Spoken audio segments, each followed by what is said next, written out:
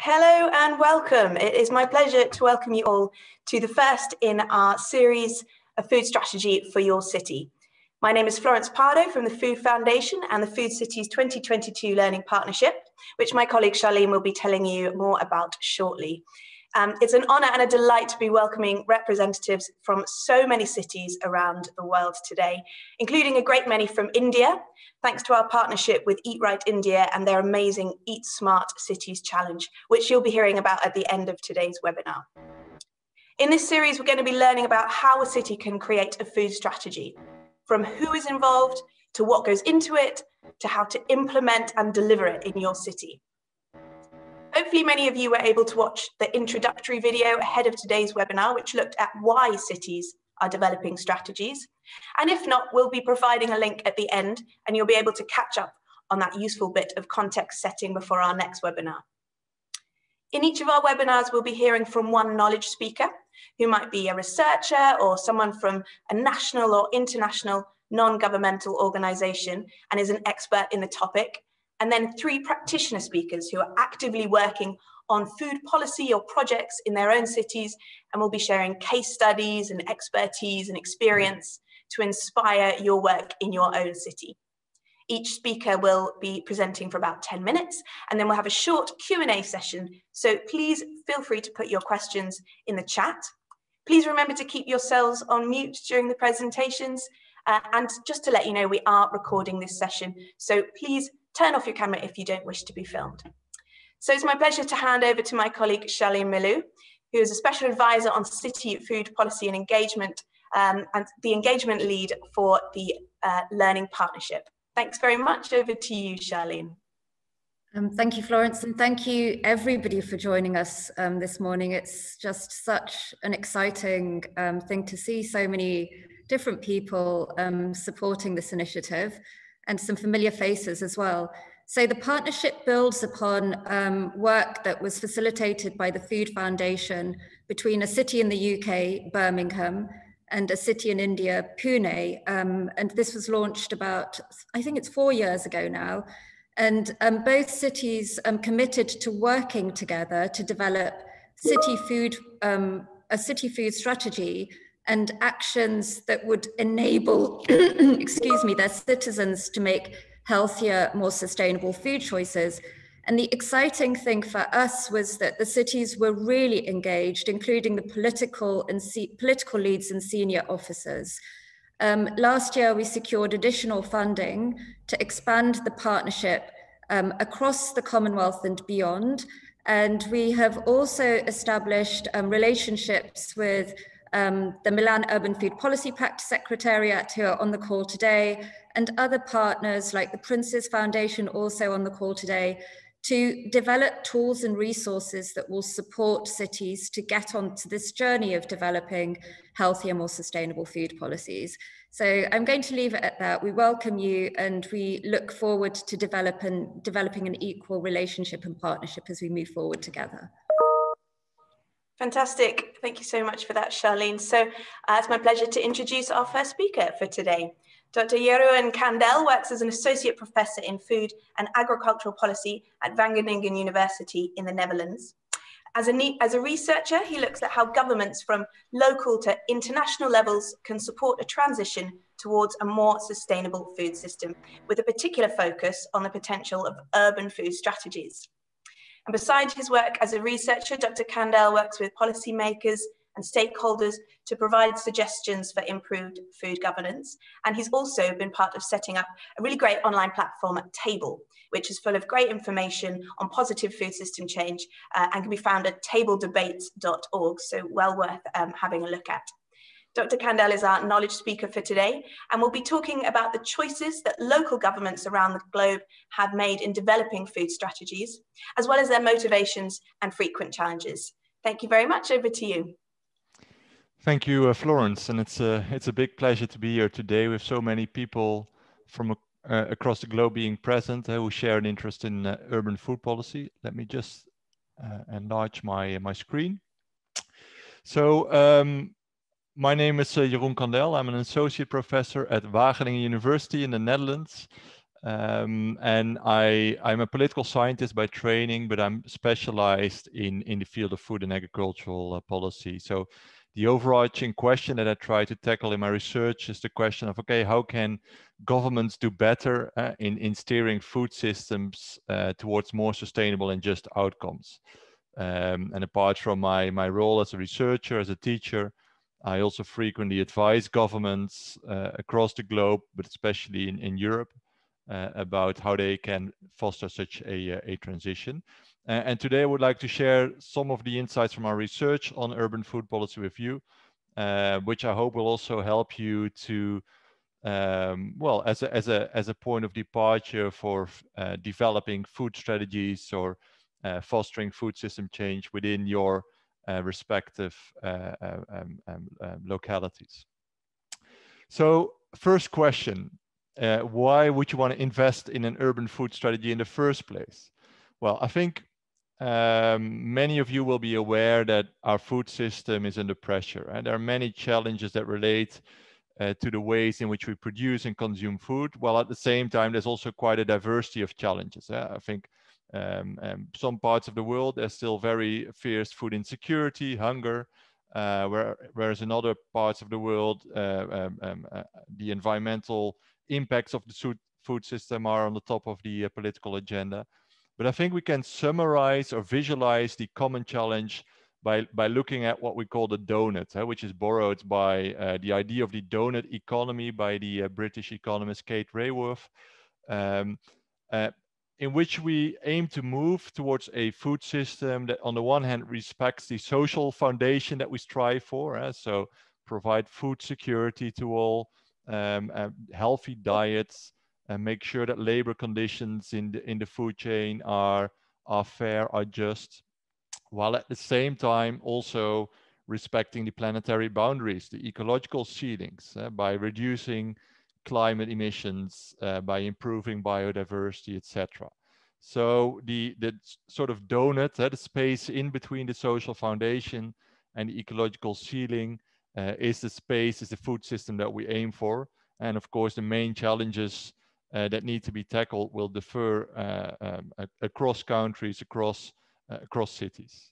But this is the common challenge. Now, why then take action at local level?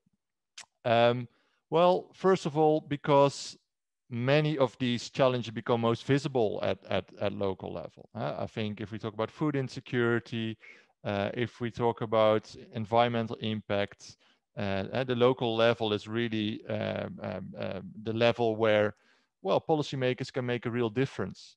Uh, also given the fact that there's still ongoing urbanization across the world, especially also in, uh, in, in many emerging countries. While at the same time, we you might also argue that, um, and this is a, an argument made by a, by a well-known political scientist from the US, Benjamin Barber, uh, that it might also be way more effective to take action at local level. He wrote a famous book, If Mayors Rule the World, arguing that, well, perhaps national governments have become increasingly dysfunctional. Uh, uh, perhaps that's more true in some countries than in others. Um, but, but he expects that much more can be achieved in improving food security, in tackling climate change at local level compared to national or even international levels. Uh, so you could say that the local level is really emerging as a venue, uh, uh, well, in, in, which we can um, um, uh, really uh, uh, make, make a difference across the globe. I think many of you will also have heard of the Milan Urban Food Policy Pact, which started in 2015. And I think Andrea will, will talk later today to share some of their experiences uh, which is also a global network of mayors who committed to fostering, to improving uh, the food system within their respective territories. Now, a bit of a more theoretical or abstract question, what do we mean with a food strategy in, in, in the first place? Eh? So this whole webinar is about developing food strategies, but what does a food strategy actually entail?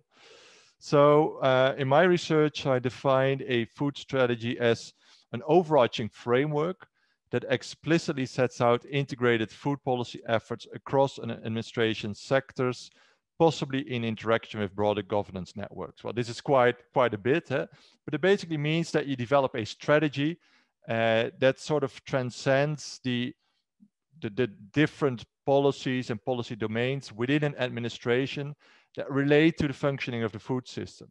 So food policy is not just about uh, increasing agricultural production uh, or about tackling uh, health disparities or, or improving uh, food security.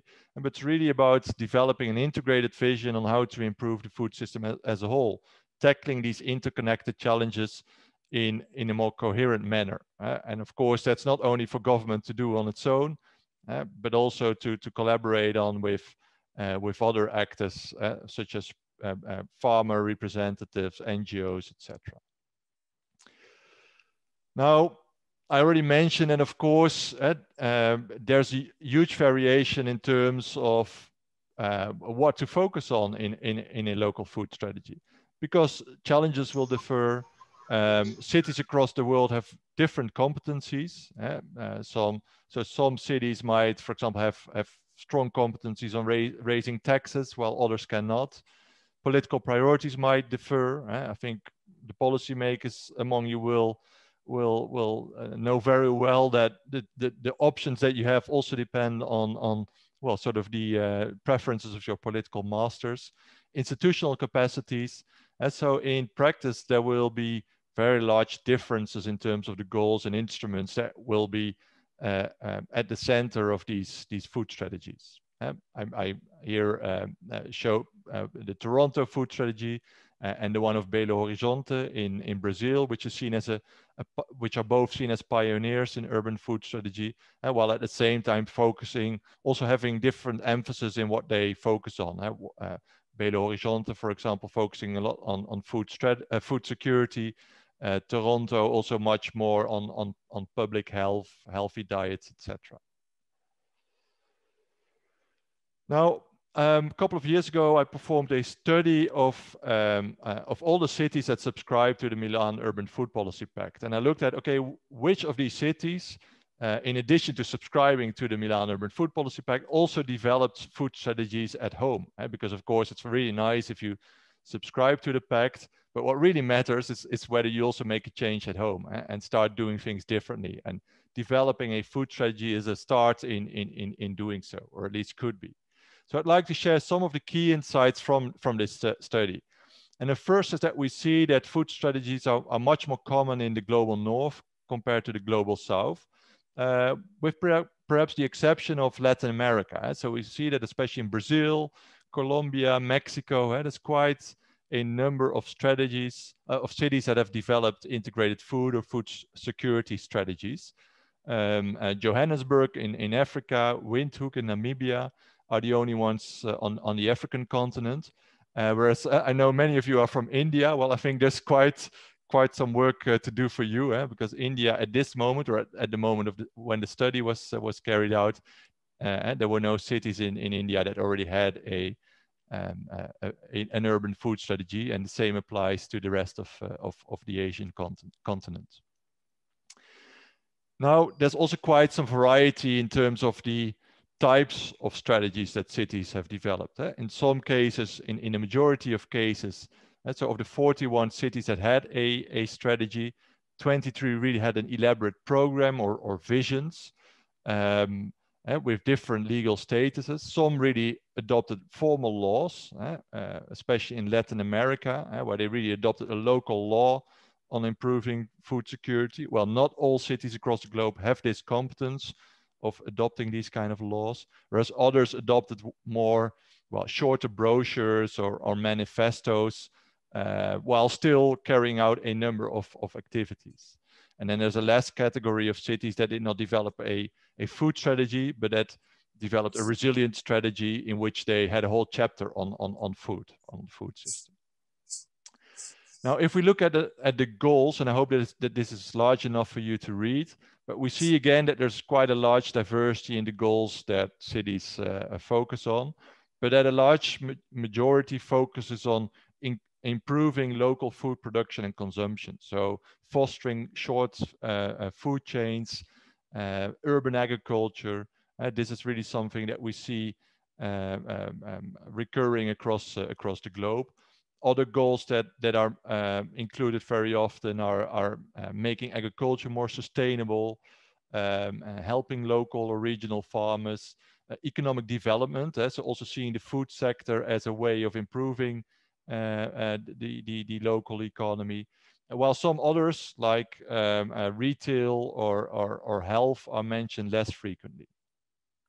Then in terms of instruments, we see that most cities rely on, on software instruments. So on informing um, um, uh, consumers, producers on using some subsidies, while the use of regulation, uh, of really making hard rules, uh, is, is much less uh, common. I'm going through this a bit quickly, uh, but if you, you're interested, you can of course look up the study later on. Uh, I'd be also be happy to, to share it with you. But to, to, to end with some of the key conclusions of our study, uh, we see that most cities have, have, really managed to develop overarching strategies in which they target these different dimensions of the food system, eh, from production to consumption uh, and, and some of the, uh, the activities in between. Although eh, the food retailing, eh, we call that uh, food supply and distribution, often remains under-addressed. And Roberta Sonnino, a colleague from, uh, from uh, Cardiff, has, mentioned, has referred to this as the missing middle of the food chain. Well, we've seen quite large difference in the legal status, but also the level of detail. And some cities have very broad objectives, but where it's quite difficult to monitor if they've actually achieved them, whereas others are, are way more targeted. So I think a common challenge is, first of all, developing these urban strategies, but then also making sure that you move beyond symbolic policy. So not only um, um, uh, keep this or, or, develop these as paper paper tigers, uh, paper strategies, but also make sure that these strategies and also really make a difference in, in fostering food system change. So that's quite a bit in these uh, these 10 minutes, but I hope I've been able to share some some new insights. Uh, thanks a lot for your attention, and I look forward to uh, to the questions or points of uh, of discussion that you may have. Over to you, Florence.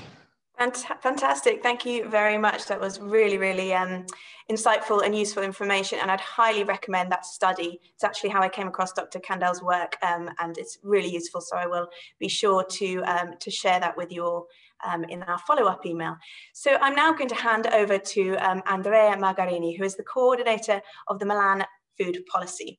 And in this role, he works to engage partners across the city from public sector, third sector and private sector to implement actions on a suite of activities to transform the food system of the city. He's also uh, the chair of the Food Working Group of Eurocities, which is a network of 51 European cities actively working on food policy development. And Andrea will be sharing insights on how cities are developing their food policy processes with Milan as a case study. Thank you very much. Over to you. Thank you. Thank you indeed, Florence, for this uh, invitation. And also it's a pleasure to follow also the, the words of uh, Jeroen. And um, I'm here also is connected also Filippo Gavazzeni from the Milan uh, Pact Secretariat. Um, and uh, I, I, will share as, uh, as anticipated from Florence, uh, some insights from Milan. I take some time, but I try also to share my screen. Okay, seems that it's work. Uh, as uh, already presented, there are a huge uh, topic of urbanization in our uh, world, and uh, there are different kind of food systems global level, European, national, regional, and also at local level. Uh, in our case, when we speak about local level, as already presented, we have this kind of international agreement among cities um, that are working to develop uh, urban food policy at local level. And is uh, uh, the participation on this Milan Urban Food Policy Pact that is now participating from more than 200 cities. Some cities, as uh, Jeroen presented, are more active than the others. So about 50 cities have a dedicated uh, urban food policy approved, and uh, there are uh, pioneering cities among them that are working uh, a lot uh, on urban food system. one uh, times per um, yearly uh, we we met uh, in a global forum and is an occasion to share in person experiences with workshop and uh, with practices with uh, the other colleagues uh, after this quickly update on the Milan Urban Food Policy Pact, let me show the example of Milan. We started in 2014 to understand our food system and to define our local commitment uh, to, to, to improve the sustainability of our city region food system. So we started, we divide our process in three main parts a part of uh, an understanding of our food system, so the, the, analysis of the food system, a public consultation in which we engage local actors uh, from universities, civil society, private sector and other public institutions. And after the, the, deliberation of our city council, council with a definition of a dedicated food policy. So we started to have an assessment of our food system uh, by understanding the different scales. So we have a scale at urban level, a scale at metropolitan level, with different actors that are working on this system. And we start with uh, a, conceptualization of different main elements. So an element from the accessibility, for the culture of food, for the environmental quality, and also to innovation. And we try to define and understand and sharing knowledge among all of our actors and to collect the already existing knowledge in this field of food system. After we try to understand the different stages of this food system, so the different uh, element, elements that uh, uh, moving the food beyond the city. Uh, so all the elements regarding production, transformation, logistics, uh, distribution, consumption, and waste. And as you can see also in this infographic, we understand the food system as a system, as a circle, not as a line from production to consumption, but to understand all the different elements, all the different stages of our food system. And also based on this, uh, we try to understand all the different relations that are working on uh, the six main elements of our food system. And in that period, so 2014, we work also to understand for all of these elements our existing uh, urban policies deliver from a municipality and also deliver from other institutions. For instance, on the field of production, we have uh, an agricultural park that is participated also from our municipality. And in this agricultural park are working uh, 1,000 and a half uh, of farmers. So is one of the main driver in the field of urban production and peri-urban production. In the field of logistics, uh, we have a municipal agency that manage our wholesale food general market. In the field of consumption, everything concerning public meals. So the meals from school canteens, the meals from hospital canteens, and in field of waste, uh, all the infrastructure that manage this, uh, this waste and also are the main driver to work against food waste. Based on all of this knowledge, we try to collect data because uh, only if you know very well your context, only if you know the different element of your food system, you can improve them. And so here is in Italian, but is a, a, a set of uh, huge database from different, there is a, an open microphone, uh, a set of data from different database, from different partners that we try to engage to understand the percentage of obesity, the percentage, the percentage of food poverty, uh, where the people in Milan are buying their food, the different element about logistics. So it's just uh, a snapshot to have an idea that is very important to collect data to understand your context. And after this, we try to connect the different public competencies on this infographic with the different colors, with different flags. Please, thank you. we, we, we organize a, a, set of interviews with different uh, deputy mayors uh, in Milan uh, to understand in the different topic what are their perceptions. So with these infographics, we try also to understand uh, what kind of policy are already established and what of what kind of uh, urban competencies uh, are spread among the different deputy mayors. And then uh, we, we, we try to, to put all of this know-how in a simple uh, metric. So uh, again, you can understand the different stages of the food system. And here some element that we try to understand. So the data, already mentioned, the institutional role of the municipality, because if we need to define our commitment to improve our food system, we need to understand there is another micro, please, if, if you can mute. Thank you. Um, we need to understand the institutional role of a municipality. As already mentioned, we have a, a very strong power in some specific infrastructure, some uh, food infrastructure, for instance, food school canteen, waste management, and so on. The, set of the different policies that are connecting with the different uh, uh, food system elements and other other element. But this set of uh, uh, element, cross-cutting element can be different in different contexts. Again, is a tool that uh, allowing you to map the local actors. And, uh, and then we try to collect all of this kind of knowledge in uh, 10 main issues that uh, are here listed. So governance, education, waste, access, food, wellness, environmental, agro-ecosystem, production, trade, and finance. And uh, we produce uh, a simple document um, in which we try to explain also for other actors uh, the complexity of our food system.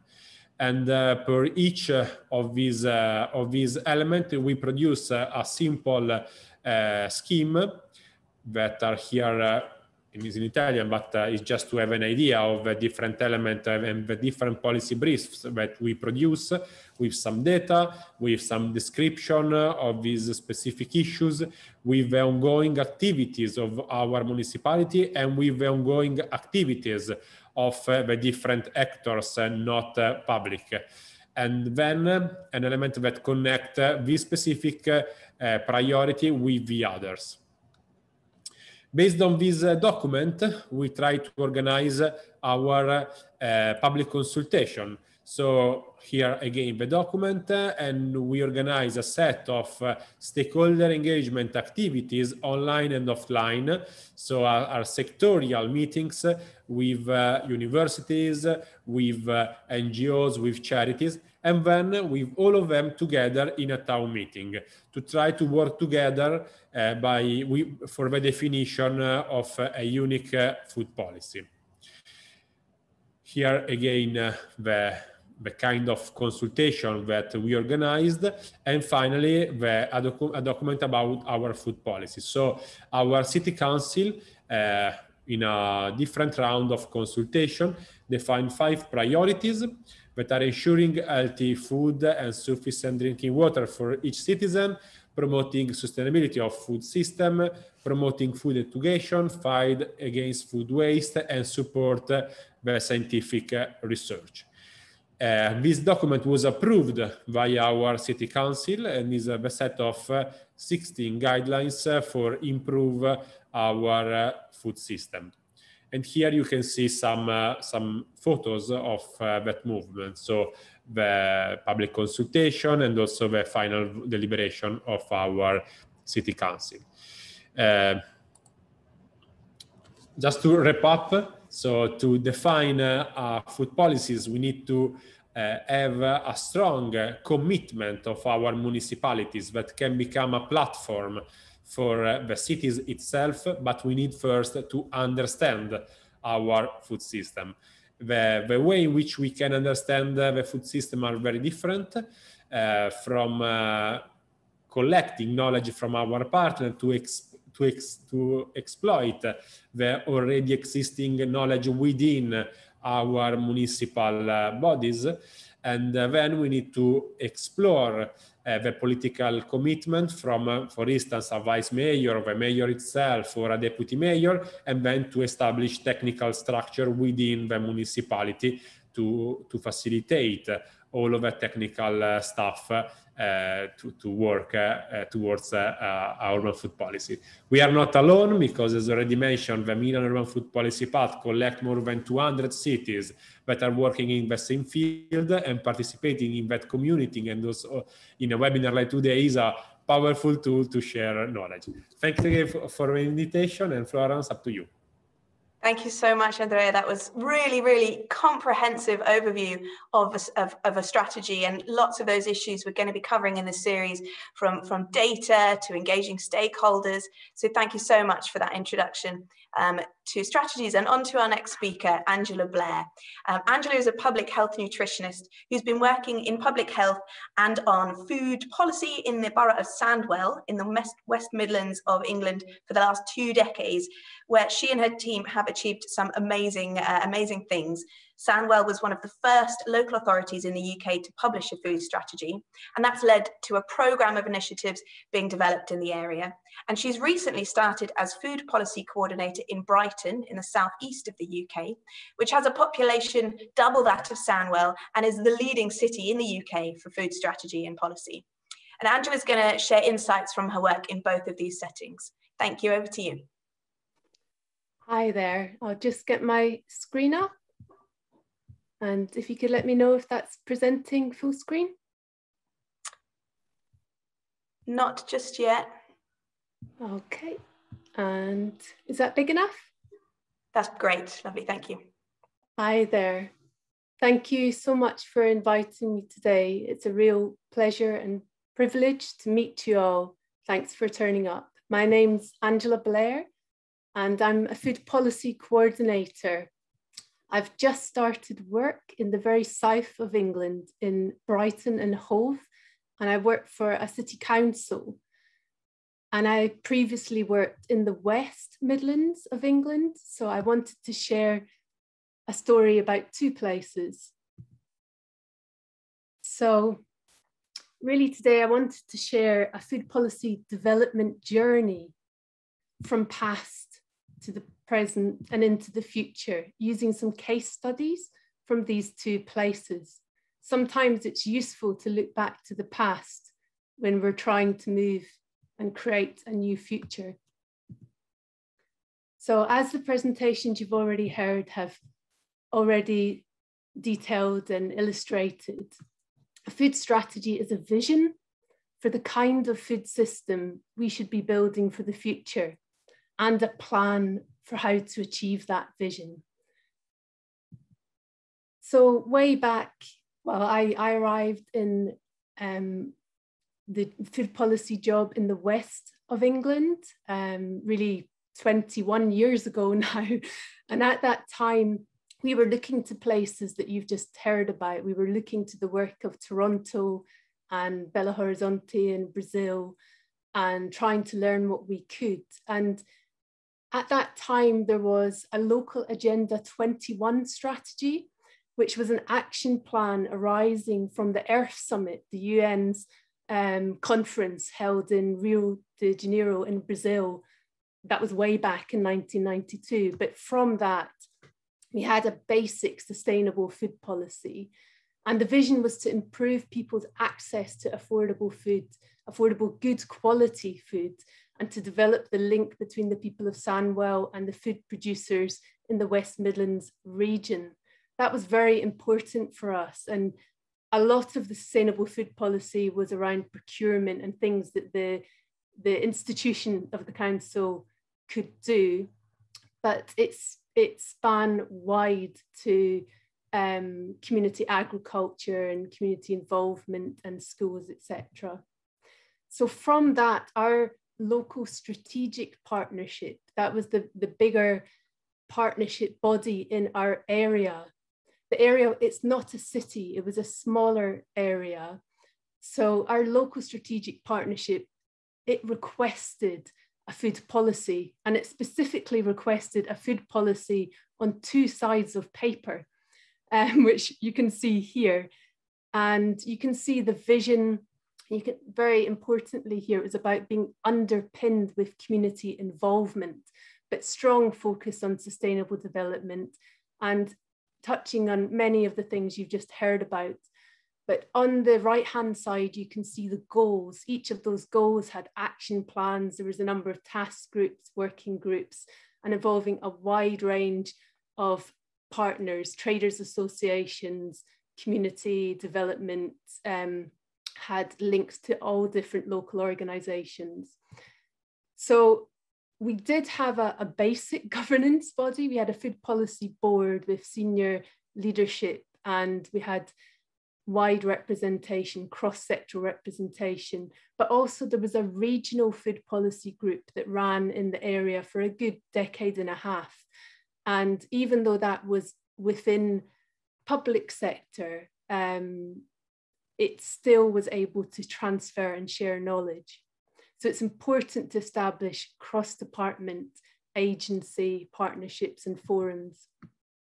So engaging policymakers and securing senior level commitment. Our initial work that engaged um, policymakers at the highest level was really uh, an audit of the local food economy, a mapping that revealed that there was a lot to be done to improve access to healthy, affordable food. And such work, such research was noticed and taken up by various plans. You can see there the Urban Design Directory in 2009 and 10, and um, also the continuous productive urban landscape research. Now I'm just going to leap to the present um, where I've just started work in Brighton. And this area has very strong foundations and a very well developed um, food partnership. So the bright, the work that I'm describing now was done by an independent body, the Brighton and Hove Food Partnership, and all its partners, a wide range across the city. So the vision they've illustrated here about having healthy, sustainable, fair food for all, again, all the key areas that we've heard about before, but put in a very simple, communicable way. Um, and you can see how do you move from that vision for your aims, your outcomes, and the actual impact? It is an extensive document and you know every every aim and action is followed through with an action plan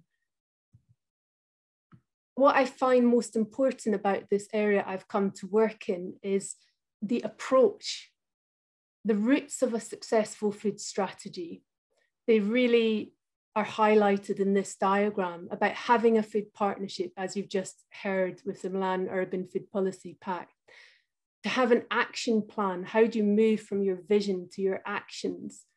To be part of, well, for us, it was um, in the UK, there's sustainable food cities, there's a, a national network, but that may be Milan, it may be um, through Eurocities, for example, or another international network.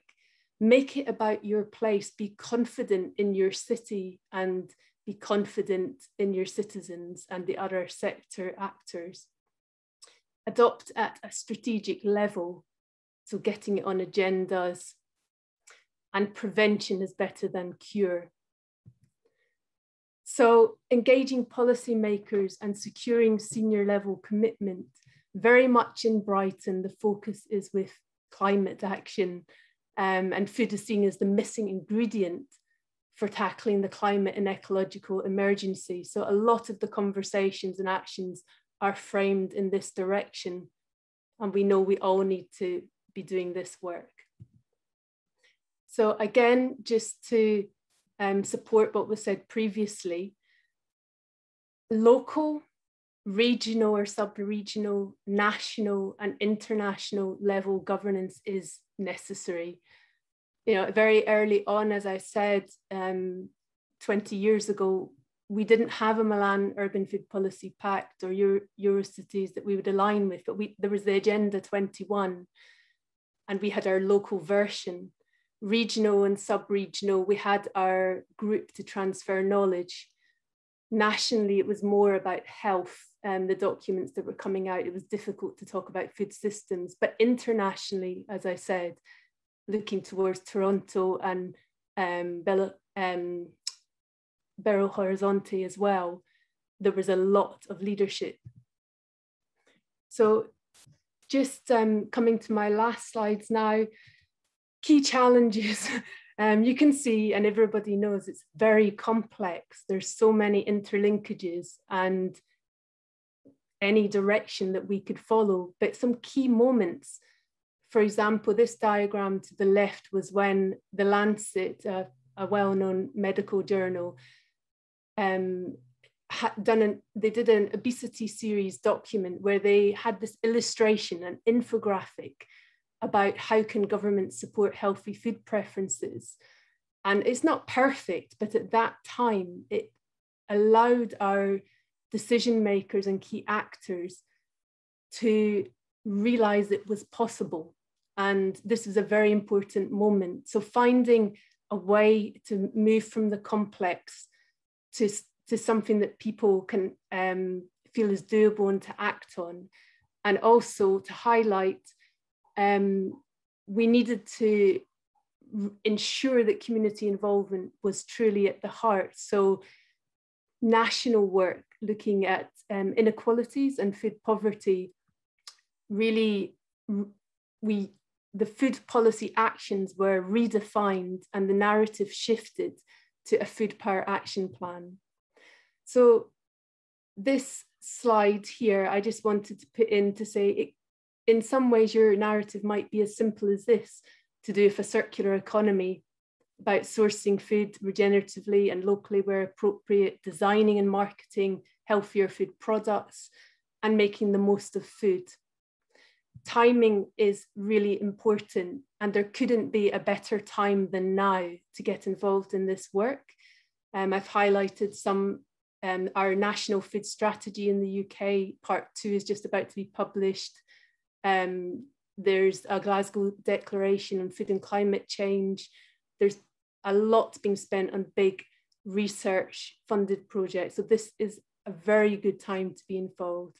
So that, that's all I wanted to share with you today. And I look forward to any questions that you might have. Thank you. Fantastic. Thank you, Angela. That was really, really helpful, really insightful. Um, and lots of really great documents um, uh, and suggestions to look at there. I'd highly recommend having a look at the um, Brighton and Hove uh, strategy, which I'll be happy to share with you all as well. Just make sure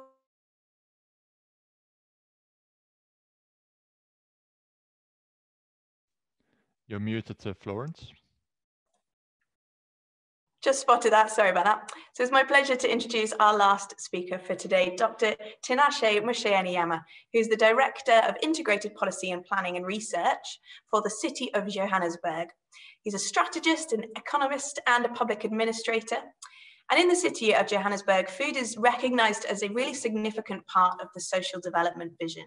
And Dr. Mushayena-Nyama oversees research, policy analysis, review and development, the monitoring and evaluation, and the partnerships that support this vision. And today, Dr. Mushayena-Nyama will be talking on the process of reviewing and renewing and developing the city's food policy uh, 10 years after it was first written. Thank you very much. Over to you. Thank you very much. Um, uh, am I audible enough? And I don't know, can you see the presentation? Yes, that's great. Thank you. Okay, thank you very much. And we are very thrilled and happy to be part of this conversation from the city of Johannesburg. My name is uh. As you can see on the screen there, I am the director responsible for uh, policy planning and research in a department called social development. I'll touch on the location of um, uh, food security matters in the city of Johannesburg. But just to start um, by giving you the scope of the city of Johannesburg food resilience policy, which uh, was developed a couple of uh, years ago. Yes, indeed, we've got a policy in place which is actually uh, governing the activities that relate to food security in the city of Johannesburg. But suffice to say that the policy is, is, is now very old and we are at a point when we are reviewing uh, the food resilience policy in the city of Johannesburg, together with other pack of um, uh, policies that uh, we are uh, undertaking in the city of Johannesburg. The food resilience policy in the city of Johannesburg is designed to assist all food insecure residents of uh, Johannesburg, particularly those that go without food at least one meal between three and 10 days in a month. And I think it's very important to highlight that when you are developing policies uh, of this nature, you need to define who are you targeting? What are the target audience? And for us, this is the, the definition of the target audience for, for the policy that we have, which we I will discuss later, where I see it as a gap uh, in terms of uh, the way it is actually framed, but it is part of the learning. I'm just sharing with you the experiences that I've had in the implementation of this policy and what we think are some of the issues that need to be to be taken care of. Um, my, my screen is not moving now. I'm not sure. Um, can you see any movement on your side? We can't. I can um, share your um, presentation from my end if you are Okay, now, now, now, now I got it. Great. Now I've got it. Okay, so it is, um, uh, our policy is, is aimed at assisting uh, communities to grow their own food uh, through food uh, gardens uh, in the backyards or rooftops. Um, it is also uh, aimed at providing small farmers with means to access land. As you know that we are talking about urban farming here and land is a key issue. Um, also, it is aimed at assisting farmers to access the markets. lastly, our food policy is aimed at attempting to provide a cheaper, fresh, uh, basic food to all people in Johannesburg through markets that are close to where they live. So this is just an overview of what the policy entails and what the strategy that we are developing also entails. Um, in terms of, in terms of um, the leadership and the governance in the strategy development process, from the experience that we have seen in Johannesburg, um, there are a couple of questions that we need to answer. How do we engage with policymakers in securing senior level commitment? And for this particular question, we need to understand that in a political environment uh, like cities uh, that are similar to Johannesburg, when you talk about commitment uh, of senior uh, uh, people in the, in the city, it's actually a, two, a two-pronged um, approach. We've got the political leadership and then we've got the executive. So for the city of Johannesburg, it is very important to understand the dynamics that you need to undergo in order to win uh, the buy-in of political leaders. And that is the council itself as it is led by the speaker and the executive as it is led by the uh, uh, executive mayor. So there is a need to lobby food security in the long-term growth and development strategies. In the city of Johannesburg, we've got a growth and development strategy that is in place, which is an overarching strategy for the city that actually gives a picture of how we would want to see Johannesburg uh, in the next 40 years, which was approved in 2010. And in that particular strategy, uh, food security matters we had to undergo through a process of lobbying to ensure that they are actually captured as part of the bigger strategy of the city before we even consider developing a policy itself. And another very important matter that we've uh, uh, uh, seen is that uh, we needed to lobby the food security matters uh, with the mayoral committee uh, in the in the in the city of Johannesburg and other cities in South Africa, uh, the governing party is now a, an issue of negotiated settlement in the sense that our our political leadership now comprises, unlike before, um, uh, what we call the coalition governments.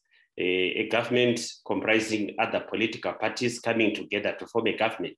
And it is very important that when you lobby the food security in a mirror uh, uh, uh, priorities of the city comprising different political parties, um, negotiations become very key and uh, an understanding of the political manifestos of the different parties becomes also very key. In Johannesburg, our problem statement is centered around high levels of unemployment, uh, poverty, and inequality. How do you get the political uh, commitment? Um, we need to do this uh, by lobbying various political uh, parties uh, who, in their own right, have got their own political capital. So we need to understand the mayoral, um, not the mayoral, we need to understand the manifestos of all the political parties and to ensure that the agenda that we put as food security is a negotiated settlement. I've already spoken about this. And for us to be able to do that, it is very important that we have evidence-based research. Benchmarking is very key to frame a sellable uh, problem statement to various political parties. We've seen that uh, in, in many instances, the political uh, process that is required to arrive at a policy or a, a strategy can actually transcend various political administrations. You know, when you're in a, in a, in a coalition government, anything can happen. You might start to review a policy today, and within three months, another government is in place. So evidence-based research is very key to ensure that whatever you put as an agenda is, non, is, is actually not contestable. So those are some of the observations that we got in terms of the executive commitment, that is getting commitment from our own executive mayor and other departments. Here we talk of the transversal matters that are relevant in the food security environment. One of the uh, speakers has already alluded to that, to say that the food security, it actually transcends various departments, uh, departments and sectors. And we've actually observed that in the city of Johannesburg. So it is very important that uh, we locate the role of food security in achieving the outcomes of other departments, not only the department that is the custodian of the food security. Like in our case, food security uh, actually reside within social development, but it will be key going forward that we locate the outcomes of other departments and relate them to how food security can actually link to achieving their own objectives. Food security matters, they intersect with other departments. And as such, it is important that we identify the departments and engage with them explicitly. But engagement alone is not enough. We have actually seen that it's very important that those that are identified uh, as departments relevant, relevant to advancing food security are actually explicitly outlined in the policy or strategy itself. Because if you assume that it will happen organically, it might not happen. And we've seen that in many instances where uh, it will be very difficult to bring departments together. So to explicitly outline in policies and make sure that the endorsement of the policy is endorsed with the matrix of all the departments that are relevant is very key. Another very important matter is to identify other policies within cities or within our own city, which we have done, whose review must actually feature prominently the food security. So food security also transcends various policies within the city. And it is very important that we take note of that uh, so that where it comes to public participation or internal consultation of other policies that are being reviewed in cities, we make sure that we guard against the food security is one of the features that has, has to be taken care of. The location of the food security department is also one of the key issues that we need to take cognizance of. Uh, I've given the three examples there. In our case, it is located in social development. And by virtue of being located in social development, it is seen as a role of assisting the vulnerable groups. And that one itself, it differs if you locate food security in a department like economic development. What it means then is that the perceptions of it being in economic development will bring in a sense of enterprising and a sense of sustainability where people can view it as a way of living. The last point that I'm putting there under location is where we've been pondering about whether it should be in the mayor's office, which is the city, city manager's office. But once again, it, it brings in a political dimension in it. And, um, but however, it becomes easier to manage the transversal matters that uh, uh, uh, actually come with it. Um, other things that we might need to consider uh, in the food security uh, uh, policy development um, is that the implementation must actually happen across all the departments. And in order to do that, for me, what I've seen is a key uh, ingredient there is that once you develop a policy of this nature or a strategy of this nature, you must actually come up with a corporate scorecard that is applicable to all the departments that you've identified as relevant. And then in this corporate scorecard, you must come up with the key indicators around food security to ensure accountability. And because it becomes part of the city performance management system, you will then have to force departments to compile their own specific indicators that are aligned to the corporate scorecard. So this is one of the key issues that we, we've observed that uh, it will be useful. And by so doing, uh, we are actually forcing each and every identified department to allocate some resources or a budget in its annual uh, motivations to address uh, food security. Some of the key considerations as I conclude, uh, things to do with sustainability. In the city of Johannesburg, we've made a lot of emphasis around the food banks where we distribute the food parcels, but I think it is important that we understand that sustainability goes beyond just providing food parcels. And therefore, we need to encourage innovative urban agriculture through training, rooftop uh, uh, gardens, and conversion of dubbing sites into food gardens.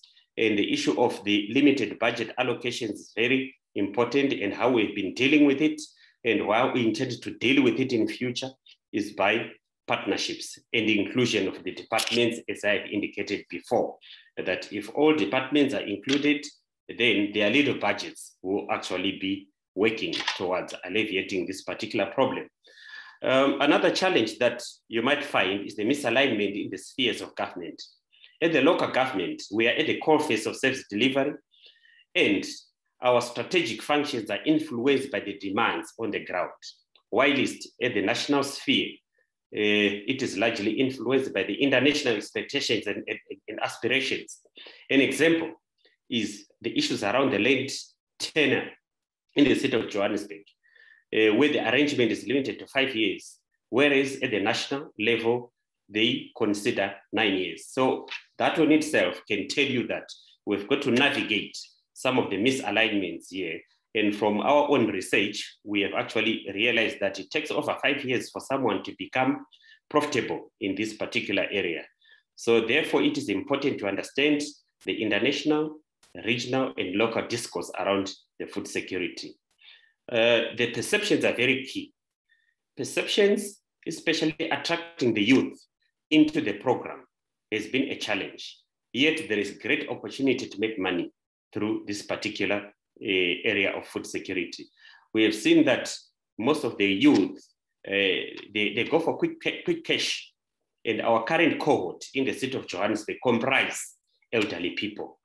Uh, we need to consider other vulnerable groups. So as you consider your own policies or strategies, it is important to know that the other vulnerable, vulnerable groups such as women, uh, persons with disabilities are taken into consideration together with the youth. In Africa, the perception that uh, urban agriculture is rural and primitive, we need to change that. And we've seen that most of the beneficiaries that we target is uh, for, for, for, food security, food gardens, and any other uh, programs are not really that interested compared to those in the affluent areas. And in the city of Johannesburg, a number of food gardens in the middle class areas are actually growing faster than those in the most deprived areas. So it is very important that we, we actually take that into consideration. Lastly, I would like to say that uh, incubation works quite well. We have seen that. But one of the challenges that we have seen is where uh, when you try to do the incubation, uh, the people start to put permanent structures on the municipal land, and they do not want to leave the incubation once they become commercial, commercially viable. So the bylaws are needed in that respect. And that speaks to actually aligning with other departments that are responsible for enforcement to ensure that the food security actually takes place. Um, I'll actually end here. Uh, these are some of that just the, the, the, the experiences that we have uh, encountered in, in the city of Johannesburg when we're implementing our food security policy. And we are now at a point when we are reviewing the policy in line with some of these experiences. And we hope that at some point in time, we'll be able, able to have an engagement uh, with you guys in terms of how far we will have gone. Thank you. Thank you so much. That was just absolutely uh, full of such useful practical information. That was fantastic. Thank you. Um, we're running a little over. I hope you can stick around for another 10 minutes or so. We're going to take, um, I've got time for just one question, and then we'd like to tell you a little bit about the Eat Smart India Challenge just before we wrap up. A couple of questions coming through um, that I'm just going to um, respond to briefly. One question around public consultation. Uh, we're going to have um, a, a, whole uh, webinar dedicated to engaging stakeholders which will be on the 4th of August. So we're going into depth um, on that topic then.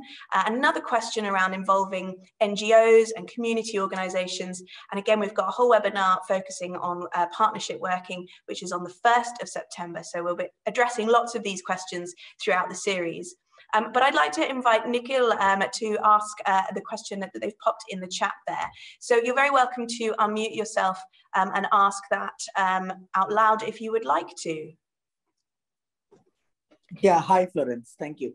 So I just wanted to ask this question regarding, you know, a city is new to developing such food policy. So do you want them to focus on all aspects of food system or any one particular aspect? And then, you know, like, I mean, how, like, if they choose one particular system, one aspect of that food system, like, how do they go about, you know, stepwise manner in identifying it, uh, you know, and then, you know, drafting the policy to address that uh, issue?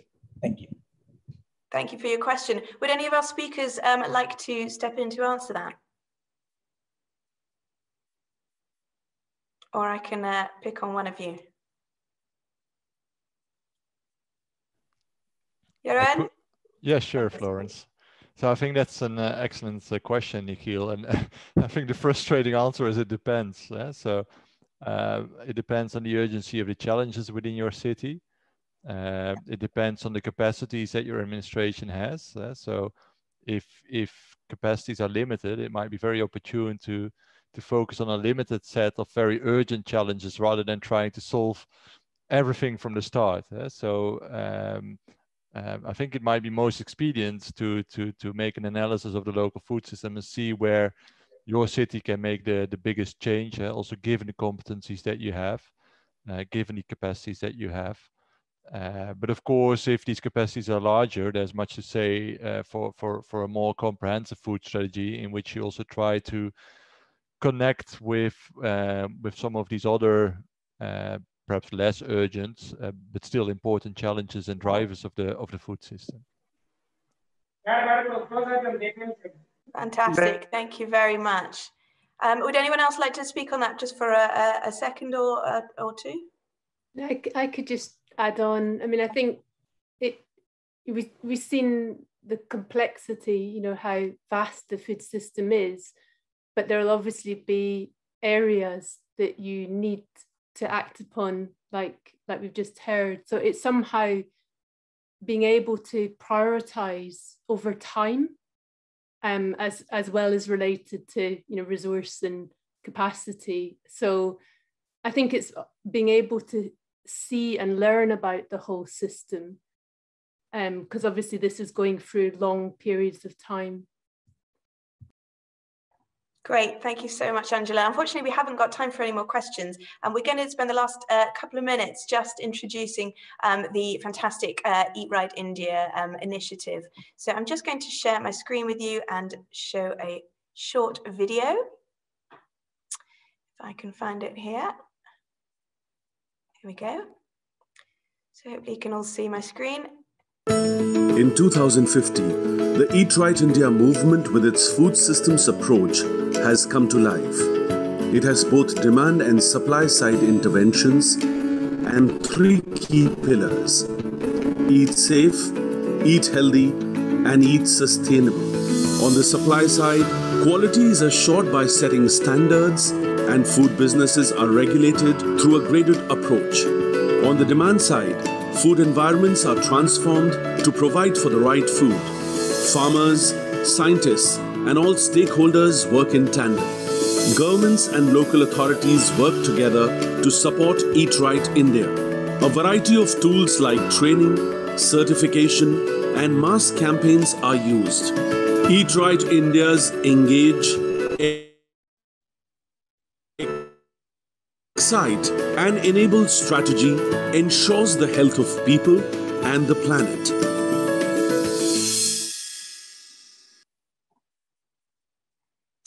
Fantastic. So Eat Right India, we're very, very um, happy to say one of our uh, partners on this webinar series, along with the Milan Urban Food Policy Pact and the Sustainable and Healthy Food Systems Project SHEFS.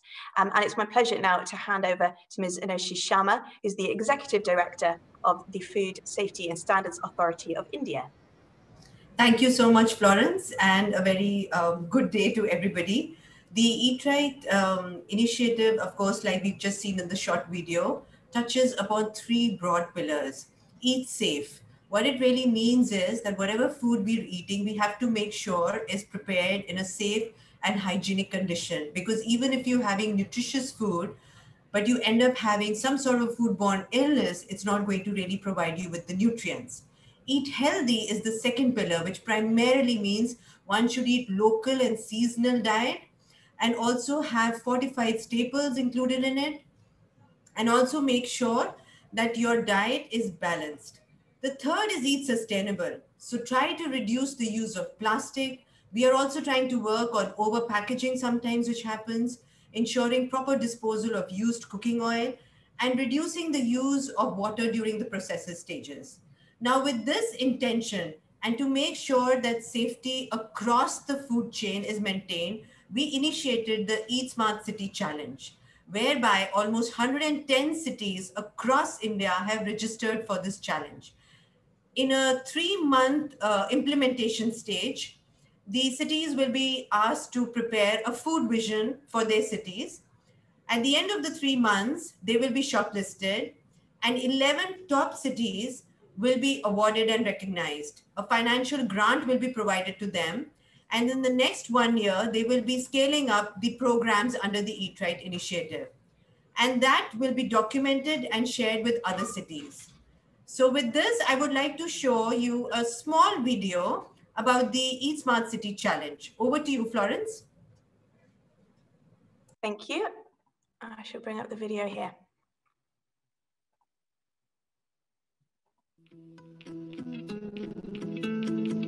Looking through the food lens provides modern cities many interesting opportunities to develop institutional, social, and economic infrastructures to ensure the health and happiness of their citizens by transforming their food ecosystems. The Eat Smart Cities Challenge is open to all cities in India that will compete to create an Eat Right vision for their cities. The challenge is focused on food safety and hygiene, promoting nutrition and healthy diets, sustainable food environments, social and behavior change. All participating cities will receive support throughout the process. Each city will implement a pilot project from the five areas of action of Eat Right India initiatives licensing and registration of food business and surveillance drives, benchmarking and certification, changing food environments, sustainable food environment, mass mobilization. Cities will be selected to bring their vision into reality. The winning cities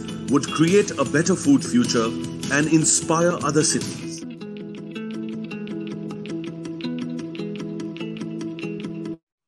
Fantastic. It is a truly exciting challenge, and we're, we're so excited to see um, what emerges from that from, from uh, our, our colleagues over in India.